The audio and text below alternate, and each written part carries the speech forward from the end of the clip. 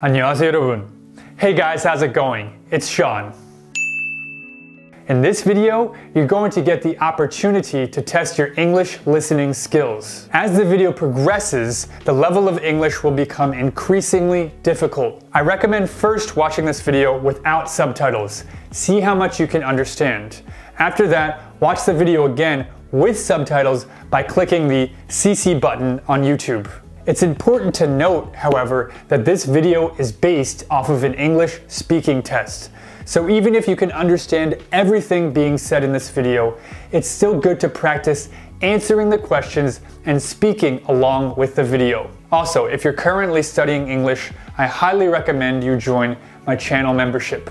Alright then, let me know in the comments down below how far you can get in the video without subtitles. Let's begin. Hey Matt, how are you? Hey Bob, I'm good, but I'm lonely these days. Ah, so you're still single? Yeah, I am.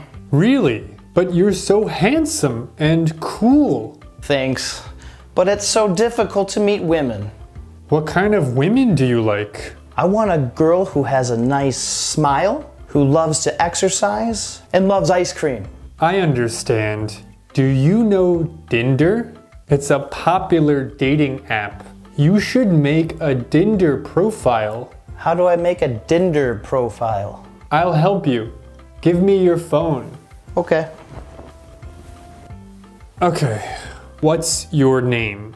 My name is Matt. How tall are you? I'm 250 centimeters.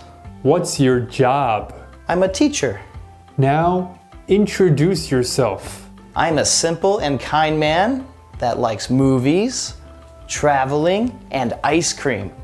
I'm looking for my princess. Great. Now, let's take a picture. Ready? Done. Here you go. Now, let's wait one hour. Hey, let's check your Tinder profile now. Oh, there are two matches. Wow, that's great. Sarah, 200 centimeters tall. Job, police officer. Hobbies, killing bad people. I'm looking for my prince. I really like short guys. You're not short. Right. Let's look at the next one. Samantha. Job, chef. Hobbies, eating food, especially brains. I want to find someone who likes to eat. I sometimes like eating people. She seems nice, but it might be hard to kiss her. She's not my style. Oh, my cousin is single. Here, let me show you her picture.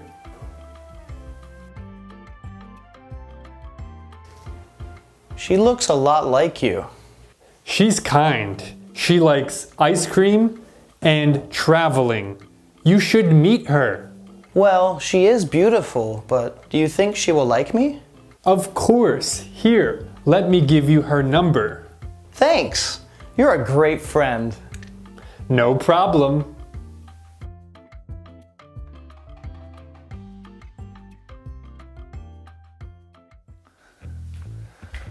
All right, so the party starts in 30 minutes. Awesome. I'm so hungry. Did you eat? Oh, I already ate, but I can make you a sandwich if you want. Thanks a lot, bro.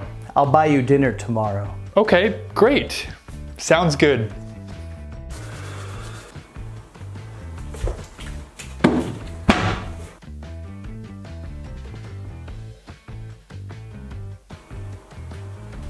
Here you go. Thanks.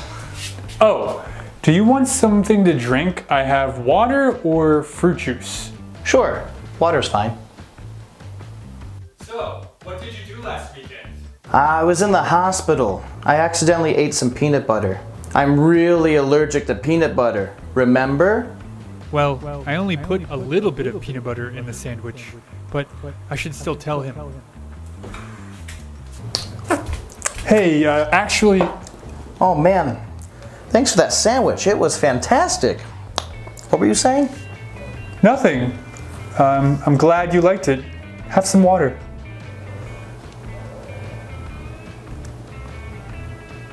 What? What's wrong with you? Nothing. Okay. What's wrong? Are you okay? I'm fine. I just hurt my neck at the gym yesterday. Ah, What time do we have to leave for the party? We should leave soon, right? let's just chill here for a little bit longer. Okay.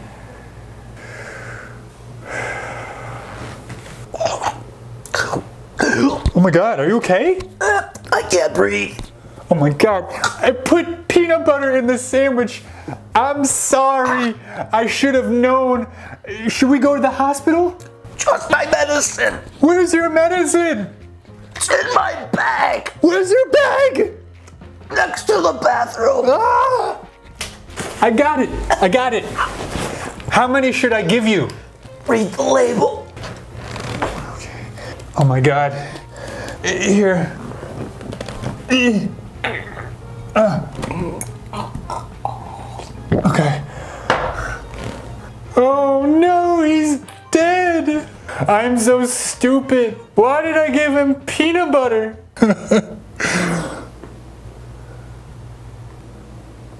You're not dead. He's not dead. Oh.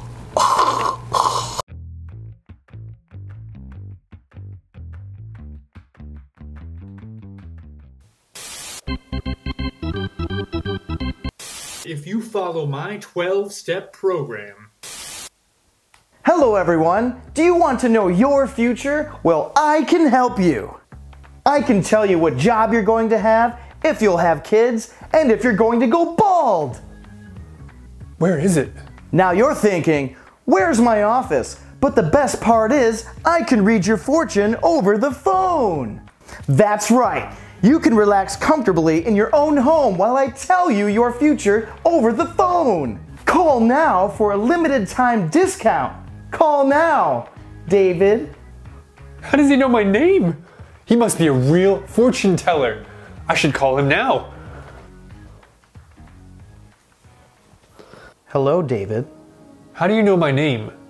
I know a lot of things about you, David. What job you'll have, how many kids you'll have, and when you'll go bald. If you're ready to hear more, please tell me your credit card number. Okay, okay, it's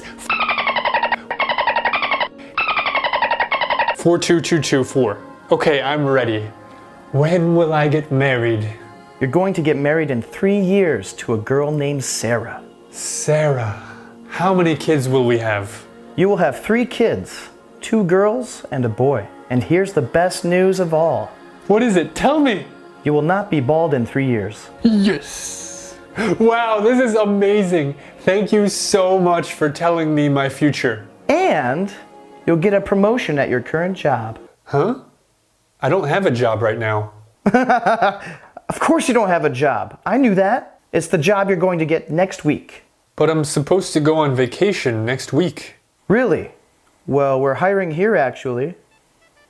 Wait a minute. Can you really tell me my future?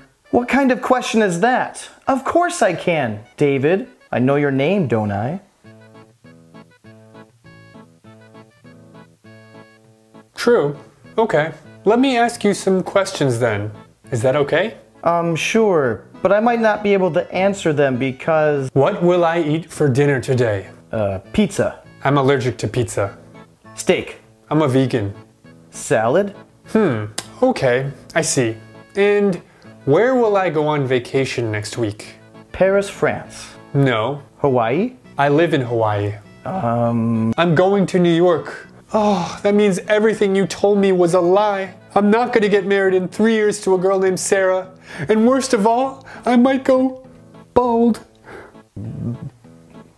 So I have one question for you. How do you know my name? sorry, no refunds. Have a nice day.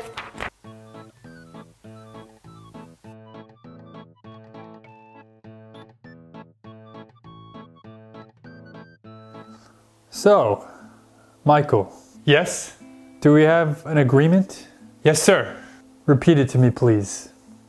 You've given me $20,000 to start my business. After three months, I have to pay you $5,000 every month for one year. And if you don't pay me back? um, you're going to burn my house down, blow up my car, find me, lock me in a box, and throw me in the ocean. Perfect.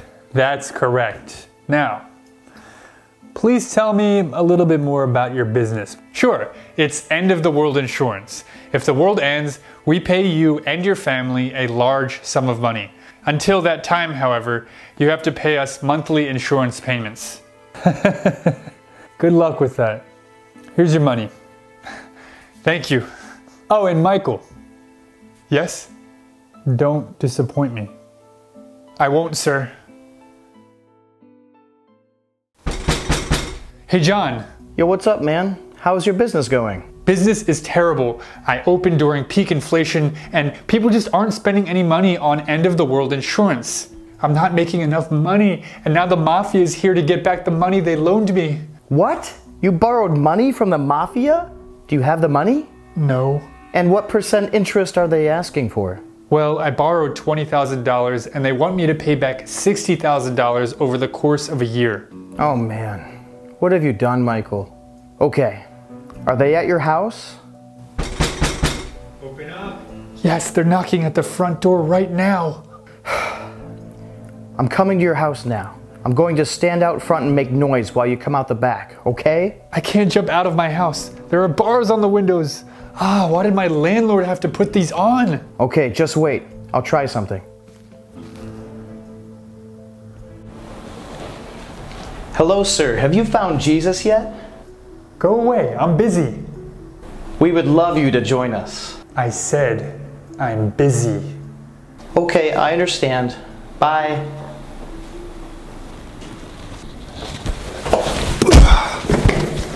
Call him. Tell him that I left and that you're the only one here. But do it. Hey, Michael. What happened to the mafia guy? Uh, he left and I'm the only one here. Open the door. Really? Great.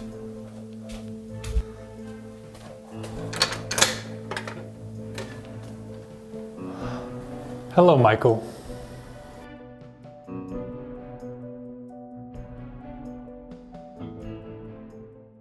No, man, you're wrong. Here's my first reason as to why it's not worth sending your kid to university or going to university.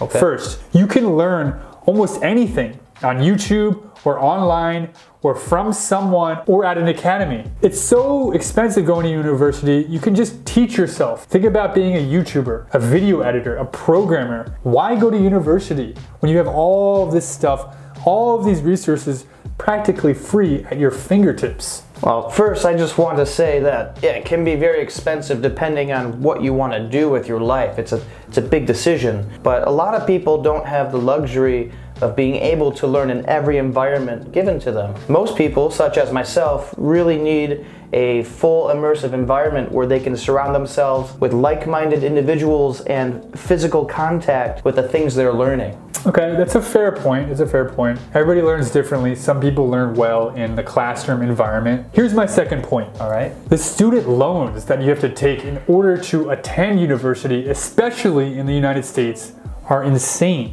The amount of debt that these young kids are going into, four years of college, after that you have to start paying back like 50, 60, $70,000 worth of debt. How can you put that much debt onto a kid who is just graduated and is entering the workforce?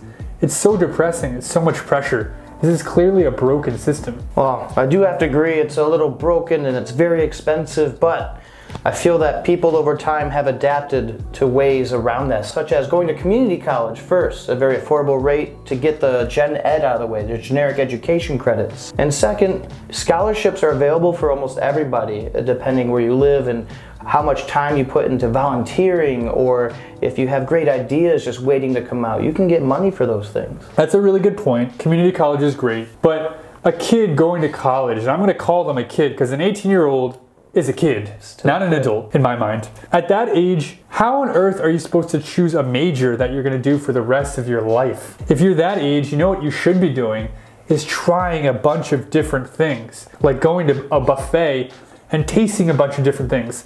I like that. I don't like that. I kind of like that. That's what an 18 year old should be doing. Instead of being forced to choose one major to study, how do they know what they want to be doing in 10 years? Everybody goes through that, and some people take longer than others to find out what they want to do. Exactly. But whether it's in a university landscape or online, they're still going to come across those same struggles. In university, you can stay on the same campus usually. I switched twice and it was very convenient. I didn't have to leave, didn't have to change dormitories, didn't cost me anything except for maybe a couple extra classes to make up. Yeah. My last point is that when you're young, when you're 18, 19, 20, I think one of the best things you can be doing is traveling, trying new jobs, meeting people, going to different places. But I feel like a university environment is a very synthetic, unnatural environment that isn't really training young kids to do very much at all.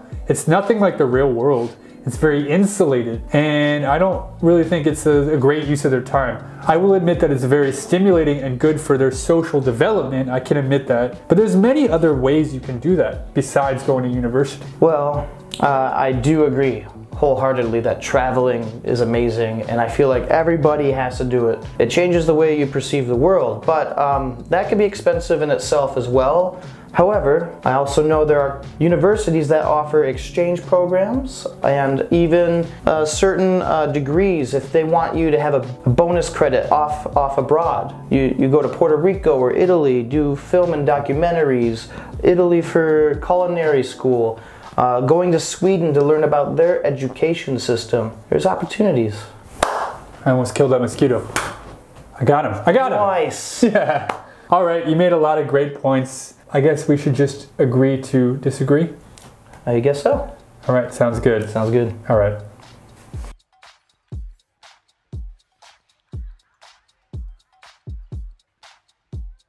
Hello. Hello, Agent 4. We need you to infiltrate the layer of Damascus, the kingpin of the underground crime syndicate. Everyone wears a disguise in the gang, and you'll need to acquire one as well.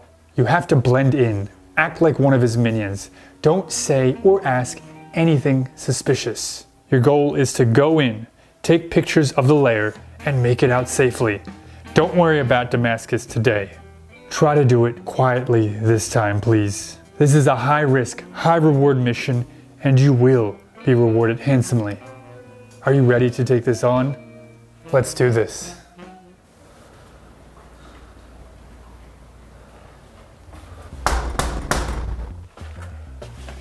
What's the password? Pizza delivery. I didn't order any pizza. Oh, is that right? I must have come to the wrong house. One sec. Ugh, I came to the wrong neighborhood. Sorry for troubling you. Please accept this pizza free of charge. We have to make a fresh one for the guy who ordered this anyway. Well, uh, what kind of pizza is it? Um, pepperoni. Just pepperoni? Pepperoni and sausage. It's a meat lover's pizza. Oh, I love meat lover's pizza. How many calories does it have? I'm watching my weight these days. Look, sir, do you want the free pizza or not? Yeah, sure, I'll take the pizza. Here you go.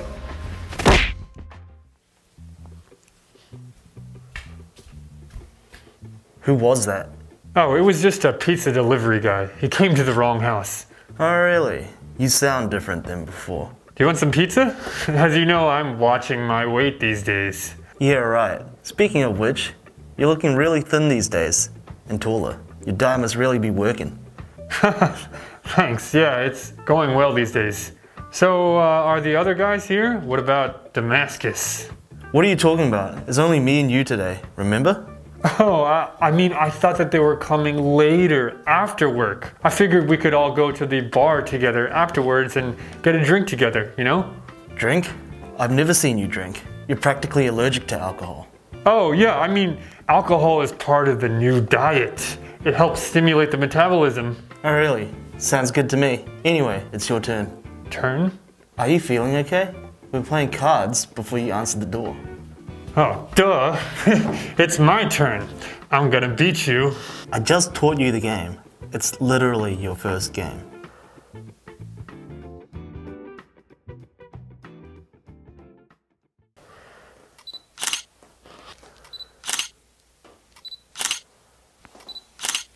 What are you doing?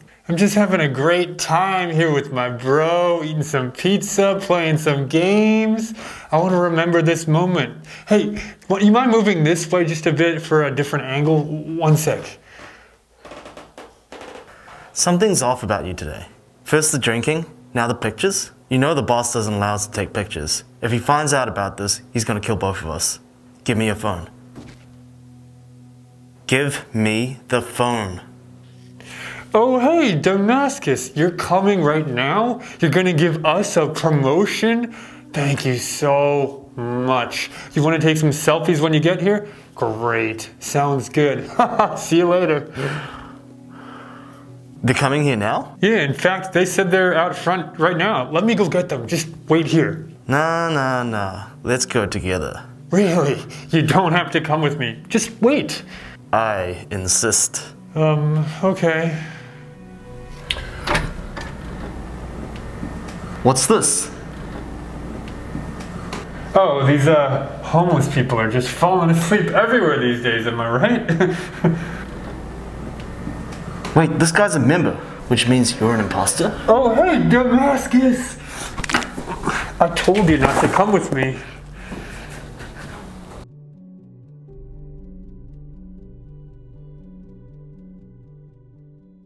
Thank you so much for watching everyone. Did you enjoy this video? If so, please let me know in the comments down below.